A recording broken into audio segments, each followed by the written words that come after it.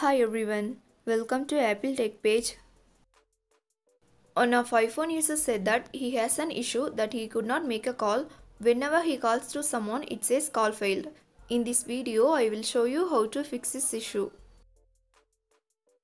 First solution is call star hash 31 hash. For that, open phone app on your iPhone.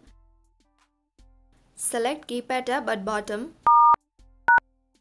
Enter star hash 31 hash and tap call button. Once you done, try to make a call to check if it's working or not. Second solution is refresh airplane mode. For that, go to settings app, enable airplane mode and wait for 10 seconds, then disable it. Third solution is restart your iPhone. For that, launch settings app. Next, tap on general. Scroll down to bottom and tap on shutdown. Turn off your iPhone by dragging the slide to power off slider to right side. Wait for few seconds and turn it back on. Solution 4 is eject the SIM card and reinsert it. First, turn off your iPhone, then eject the SIM card and reinsert it.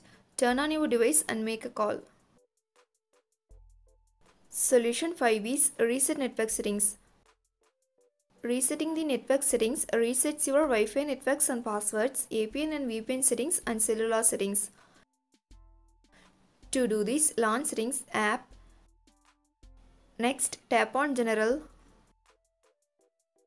Scroll down and tap on transfer or reset iPhone. Here tap on reset. Tap reset network settings in the pop-up window. Enter the passcode of your iPhone. Tap reset network settings in the pop-up window to confirm the process. Solution 6 is force restart your iPhone. If you have iPhone 8, 10, 11, 12, 13, 14 and 15 series and iPhone SE second and third generation, do the following steps. Quickly press and release the volume up button. Next, quickly press and release the volume down button. Finally, press and hold the side button until you see the Apple logo. Thanks for watching this video. Do like, share and subscribe to Apple Tech page.